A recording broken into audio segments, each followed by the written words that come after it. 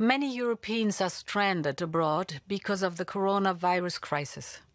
Flights have been suspended and borders have been closed, and they do not know how the situation will evolve.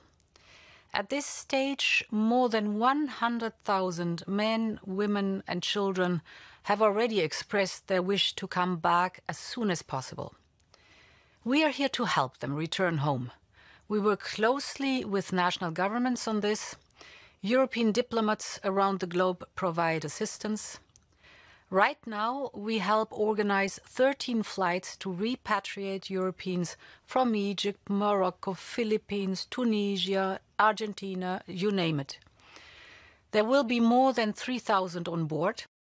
And in addition, we are getting ready to bring home Europeans from Peru, Maldives, Mongolia, and many African countries. In the past two days, we have repatriated hundreds of EU citizens from Morocco.